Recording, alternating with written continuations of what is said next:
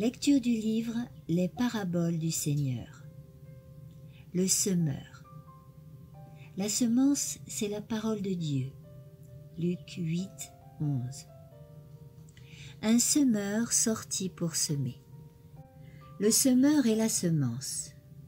La parabole du semeur illustre les mystères du royaume des cieux et l'œuvre du divin laboureur en faveur de son Église. Semblable au semeur qui arpente son champ fraîchement remué, le Christ sema à pleine main la semence de vérité. Ces paraboles étaient cette graine d'où devaient éclore les plus précieuses vérités de sa grâce.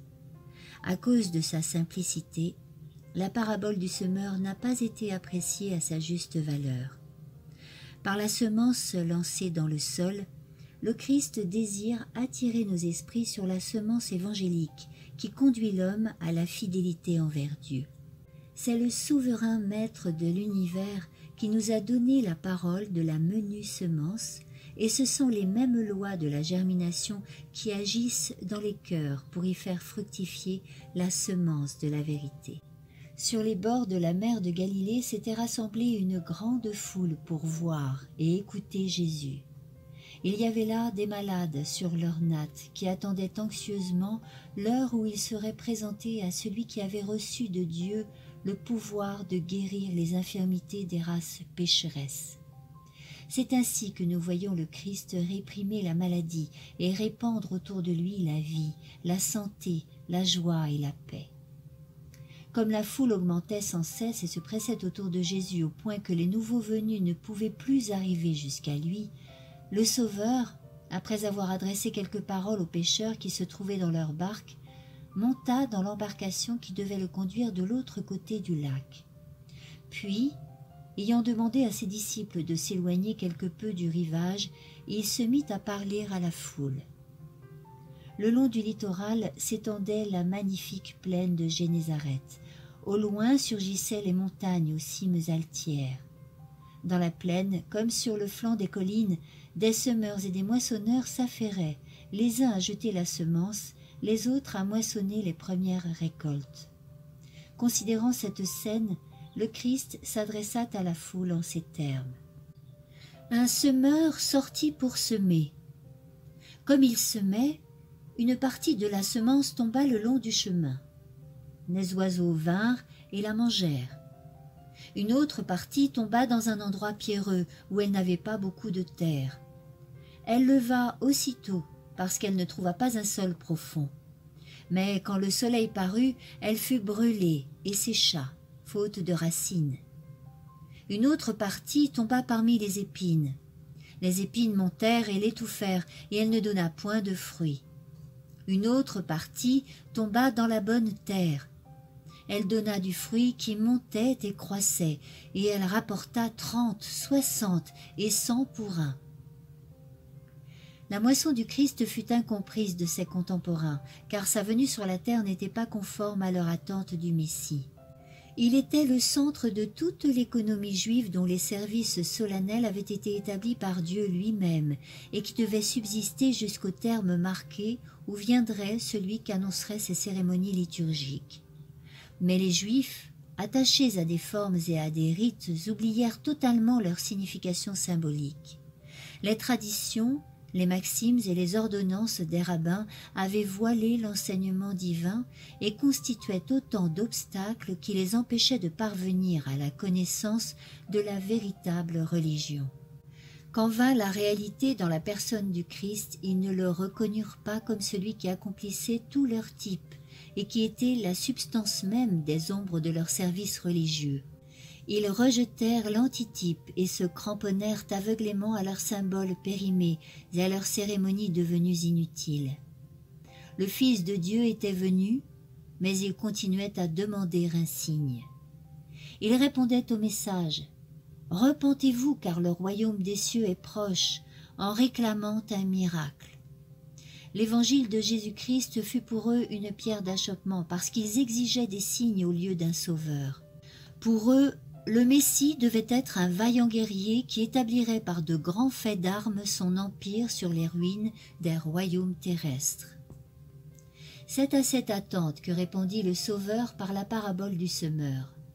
Ce n'est ni par la force, ni par de violents combats que devait triompher le royaume de Dieu, mais par l'introduction d'un principe nouveau dans le cœur des hommes. Celui qui sème la bonne semence, c'est le Fils de l'homme. Le Christ est venu sur la terre non comme un roi, mais comme un semeur, non pour écraser des empires, mais pour répandre la semence, non pour entraîner ses partisans vers des triomphes terrestres et la gloire nationale, mais pour les former en vue d'une moisson qui nécessiterait des labeurs patients, des pertes et des désillusions. Les pharisiens saisissaient le sens de la parabole, mais la leçon ne leur convenait guère. Ils faisaient semblant de n'y rien comprendre. Quant à la foule, elle était encore très étrangère au grand mystère présenté par le nouveau docteur pour en saisir toute la portée, bien que ces paroles eussent si étrangement remué les cœurs et si amèrement déçu leurs ambitions.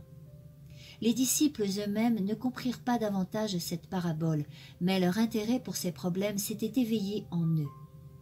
Ils vinrent trouver Jésus en privé pour lui demander de la leur expliquer. C'était justement ce qu'attendait le Maître. Il répondait ainsi à son secret désir de pouvoir leur donner un complément d'explication. Il leur commenta donc la parabole avec le même zèle qu'il met à faire comprendre sa parole à tous ceux qui la recherchent sincèrement. Ceux qui étudient la parole de Dieu avec des cœurs ouverts à l'action du Saint-Esprit ne resteront pas sans la comprendre. Si quelqu'un veut faire sa volonté, dit le Christ, il connaîtra si ma doctrine est de Dieu ou si je parle de mon chef. Tous ceux qui viennent à lui pour mieux comprendre sa vérité ne seront pas déçus. Il leur fera connaître les mystères du royaume des cieux, et ces mystères seront compris de tous ceux qui aspirent à la connaissance de la vérité. Une céleste clarté brillera dans leur âme, et elle sera pour leur entourage comme un flambeau sur un sentier ténébreux. Un semeur sortit pour semer. En Orient, tout était incertain on était exposé à de graves dangers, à des invasions toujours possibles, ce qui obligeait les gens à vivre dans des villes entourées de murailles, de sorte que chaque jour on pouvait voir le cultivateur se rendre à son travail, hors des murailles de la ville. De même, le Christ, le divin semeur, sortit pour semer. Il quitta un séjour de paix et de sécurité sacrifiant la gloire qu'il avait auprès du Père avant même que le monde fût, abandonna la place qu'il occupait sur le trône de l'univers. Il vint sur la terre, homme de douleur, exposé à la tentation. Dans la solitude, il sema avec larmes, et il arrosa de son sang la semence de vie qu'il était venu apporter à un monde perdu. Comme lui, ses serviteurs doivent sortir pour semer. Appelé à la vocation de semeur de vérité, Abraham reçut cette exhortation.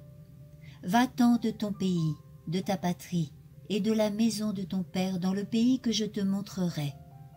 Abraham partit comme l'Éternel le lui avait dit. Il partit sans savoir où il allait.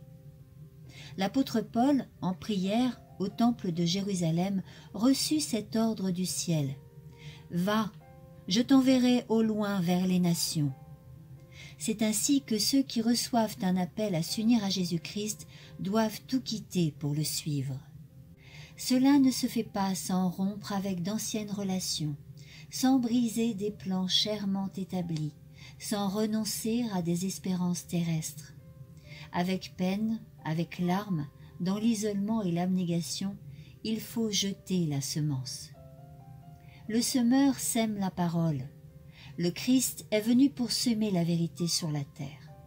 Depuis la chute de l'homme, Satan a répandu les germes morbides de l'erreur.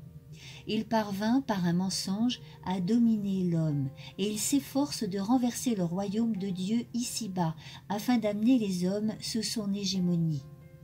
En sa qualité de semeur d'un monde supérieur, le Christ vint sur la terre pour jeter les semences de vérité celui qui avait pris part au conseil de Dieu, qui habitait les profondeurs mêmes du sanctuaire de l'Éternel, pouvait apporter ici-bas les purs principes de la vérité. Depuis la chute de l'homme, le Christ n'avait cessé de révéler la vérité à l'humanité, et c'est lui qui lui communiqua l'incorruptible semence, la parole vivante et permanente de Dieu. Dans la première promesse faite en Éden à notre race déchue, le Christ semait la semence évangélique, mais c'est à son ministère parmi les hommes que la parabole du semeur s'applique dans un sens tout particulier. La semence, c'est la parole de Dieu. Toute semence a en soi un germe de vie.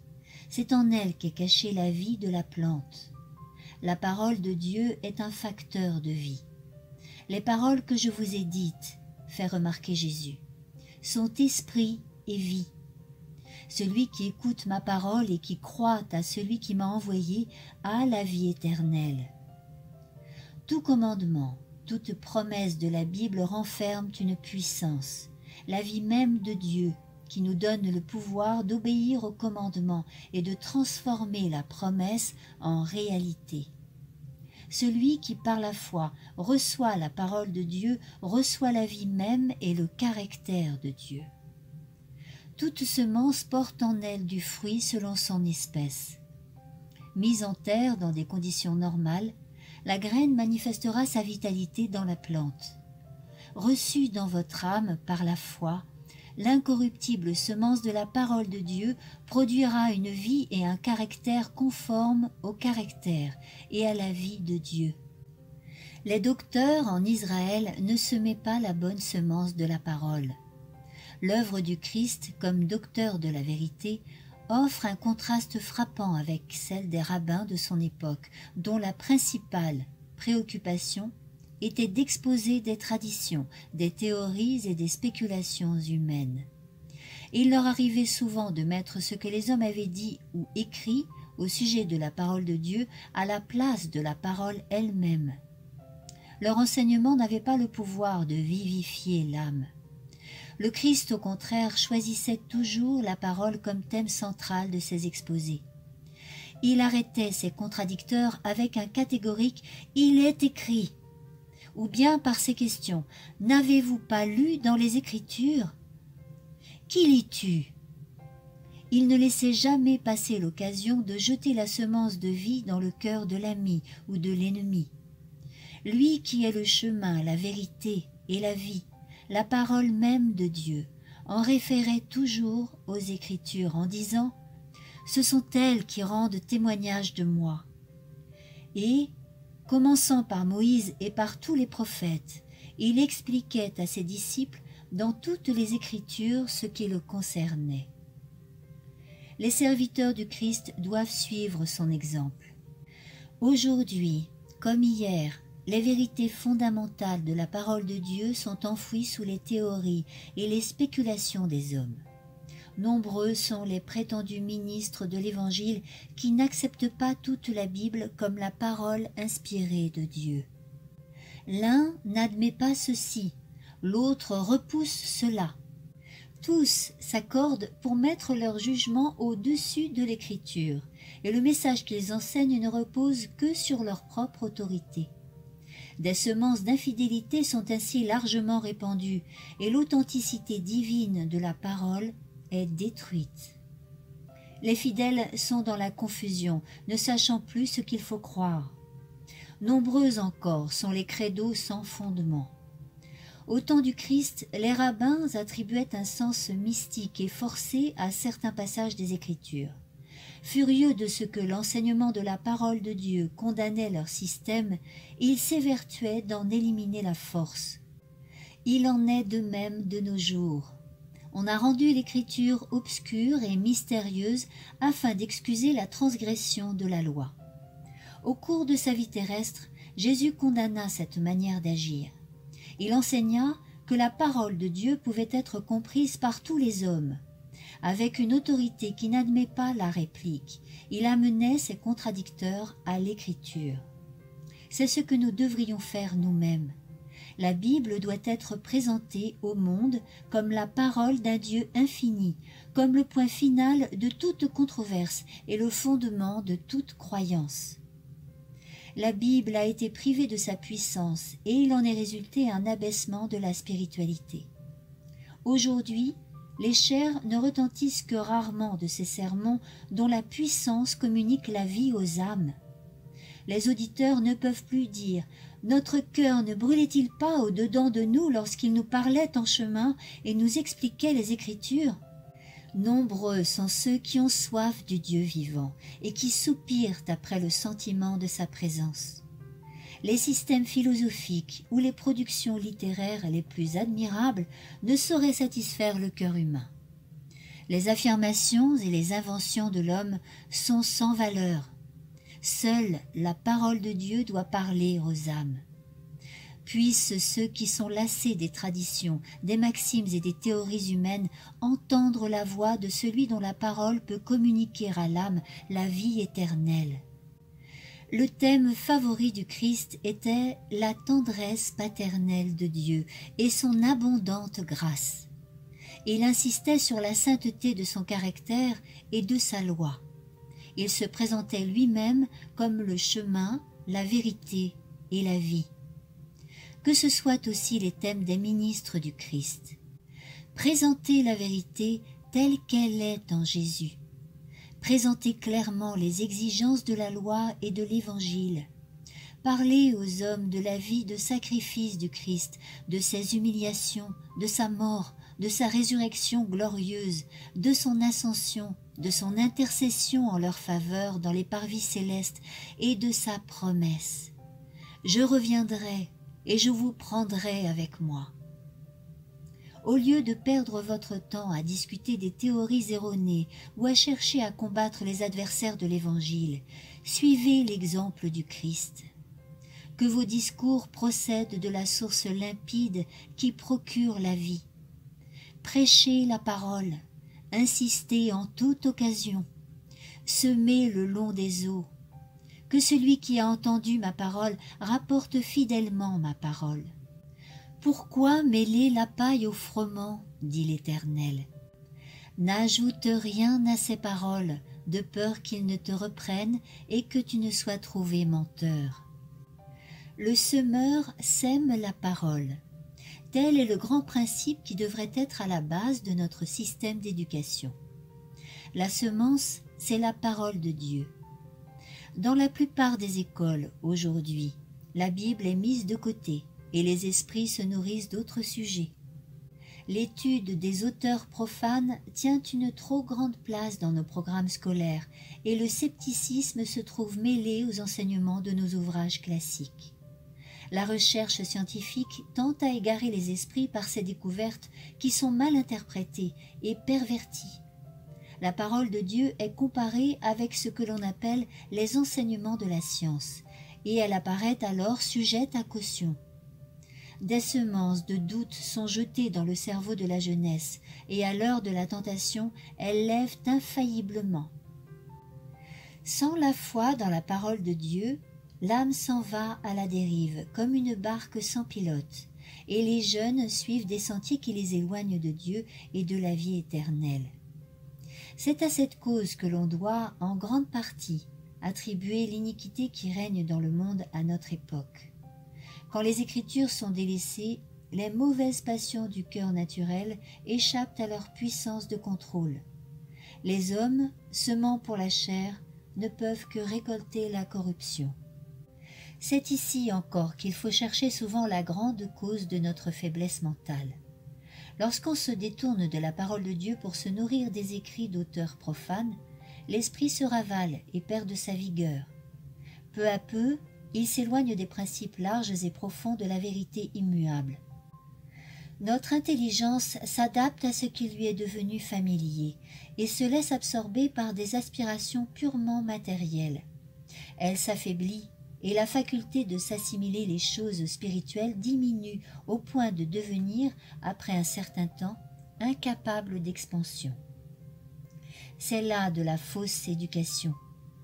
L'œuvre de tout éducateur devrait être de mettre la jeunesse en rapport avec les grandes vérités de l'inspiration. C'est là le genre d'instruction essentiel pour la vie présente et celle qui est à venir qu'on ne s'imagine pas que cela contrecarre l'étude des sciences ou rabaisse le niveau de l'instruction. La connaissance de Dieu est aussi élevée que les cieux et aussi vaste que l'univers. Rien n'est plus propre à ennoblir et à communiquer la vigueur intellectuelle que la méditation des grands thèmes qui concernent notre vie éternelle. Que la jeunesse s'efforce de comprendre le sens de ces vérités qui viennent de Dieu, et l'effort qu'elle fera pour atteindre ce but tendra à élargir et à fortifier son esprit. Tout étudiant qui s'efforce de mettre en pratique la parole enrichit ses connaissances et s'assure ainsi un trésor inestimable. L'instruction qu'il faut chercher à acquérir en sondant les Écritures, c'est une connaissance expérimentale du plan du salut. Elle restaurera l'image de Dieu dans l'âme, fortifiera l'esprit contre l'assaut des tentations et préparera l'élève à devenir collaborateur de Jésus-Christ dans sa mission de miséricorde. Elle fera de lui un membre de la famille divine et le préparera à participer à l'héritage des saints dans la lumière. Mais celui qui enseigne la vérité sacrée ne pourra communiquer que ce qu'il sait par expérience le semeur sème sa semence. Le Christ enseignait la vérité parce qu'il était la vérité. Sa pensée, son caractère, son expérience personnelle se retrouvaient dans son enseignement. Ainsi doit-il en être de ses serviteurs. Ceux qui enseignent la parole de Dieu doivent se l'assimiler par une expérience personnelle. Il faut qu'ils sachent que le Christ est devenu pour eux sagesse, justice, sanctification et rédemption. En présentant la parole de Dieu aux autres, il ne faut pas le faire en termes vagues, comme si l'on avançait de simples suppositions. Il faut pouvoir dire avec l'apôtre Pierre Ce n'est pas, en effet, en suivant les fables habilement conçues que nous vous avons fait connaître la puissance et l'avènement de notre Seigneur Jésus-Christ mais c'est comme ayant vu sa majesté de nos propres yeux. Tout ministre de Christ et tout éducateur chrétien doivent être en état de dire avec Jean, l'apôtre bien-aimé, La vie a été manifestée, et nous l'avons vue, et nous lui rendons témoignage, et nous vous annonçons la vie éternelle qui était auprès du Père et qui nous a été manifestée je t'invite à la seconde partie de ce chapitre, Un semeur sorti pour semer, dans le prochain audio intitulé Le terrain au bord du chemin. Et si tu as apprécié cette lecture, n'hésite pas à liker le petit pouce qui pointe vers le ciel et à partager.